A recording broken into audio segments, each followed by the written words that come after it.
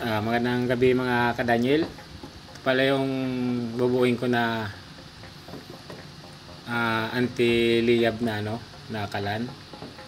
Bale pala dising ko yung ah, chamber niya at ang kapal niya 10 mm.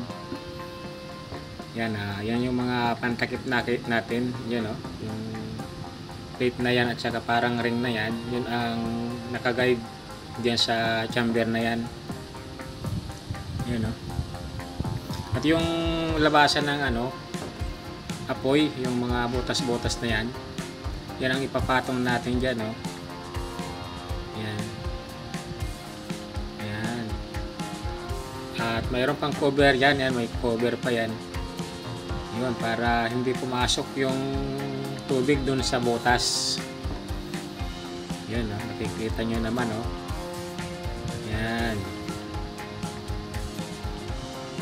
So, ganyan. Yan yung ating ah, nozzle burner. Oh. Mababa lang siya. Pero malaki at marami ang butas. Meron din sa taas na butas yan. Bali, 1 in 1 port yung laki ng ano na na diameter ng nozzle. Yan oh.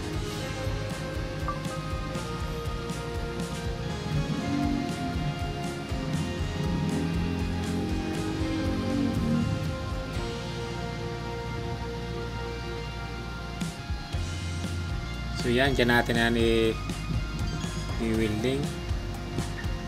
Pasok muna natin. Naka 4 feet na kaunti.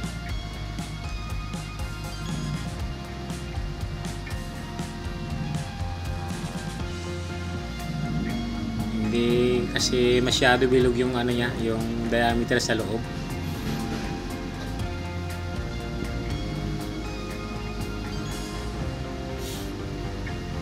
So yan, umpisa na nga natin pala ang pag-wielding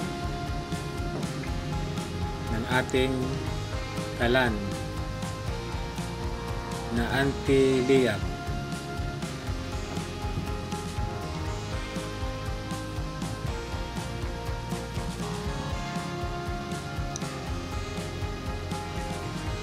Yun, nawili na natin yung base plate. Dito na tayo magsisimula ulit sa cover. Yan, yung takip niya.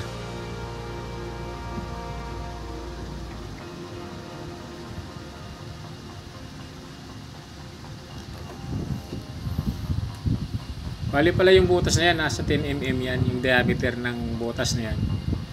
Yung maraming butas na yan, 10 mm. Yan ah. Para hindi rap yung apoy lumabas sa kanyang sa chamber.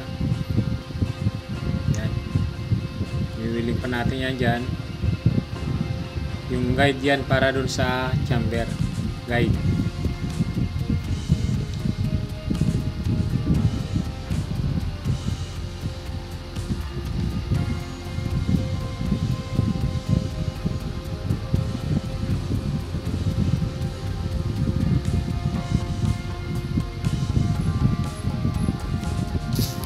wala wala yung ano ko ground ko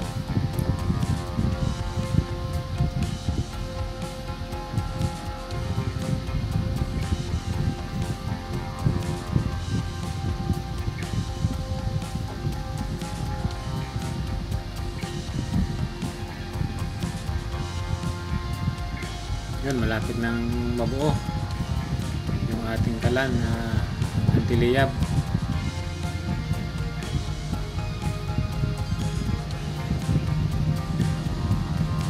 dito na tayo sa takip.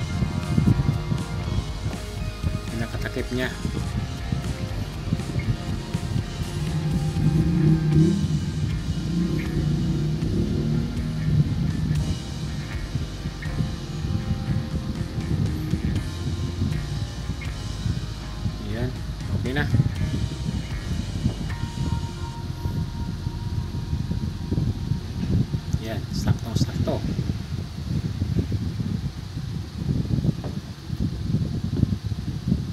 At yan yung babangga ng ah, apoy. Eh, tatry natin yan kung okay.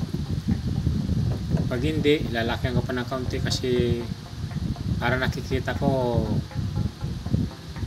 mahirapan yung apoy kasi masyado dikit masyadong dikit sa takip ayan at papairtis na natin yan yung takip okay na